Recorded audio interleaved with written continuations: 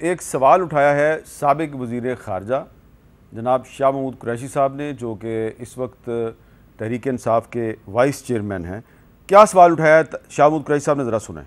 हुकूमत जिसके बैतालीस दिन बकिया रह गए, उन्होंने बारह माह का बजट दे दिया। इंटरम गवर्नमेंट है, उन्हें इस बजट पर नजरसानी करनी होगी। जो हुकूमत मुंतखब होकर आएगी, उन्हें एक दफ़ा फिर नजरसानी करनी होगी। ये वो बजट है जो मुसलसल जिसकी तरमीम होगी। मैं पेशन गोई कर रहा हूँ, क्योंकि इनका जो प्रोग्राम था आईएमएफ का, जिसके अभी तीन रिव्यू बाकी थे, वो मुकम्मल नहीं हो पाएँगे। ये प्रोग्राम इनकम्प्लीट रहेगा।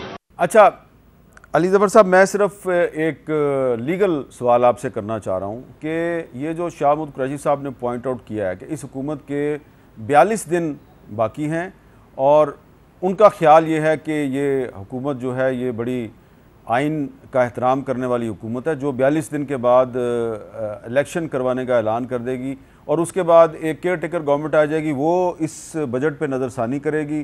फिर जो इलेक्शन के बाद नई हुकूमत आएगी, वो फिर इस बजट पे नज़रसानी करेगी। तो क्या ये हुकूमत जो है, इसको पूरे बारह माह का बजट देने का इख्तियार था या नहीं था?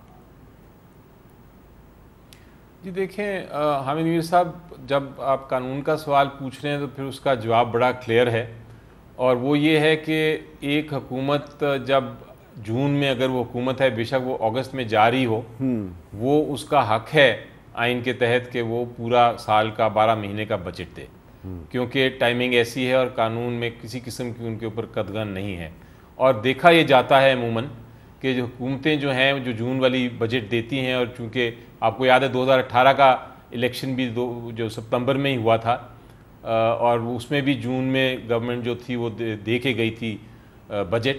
तो ये हुकूमत जब बजट देते हैं तो वो फिर एक तरह से अनरियलिस्टिक बजट होता है।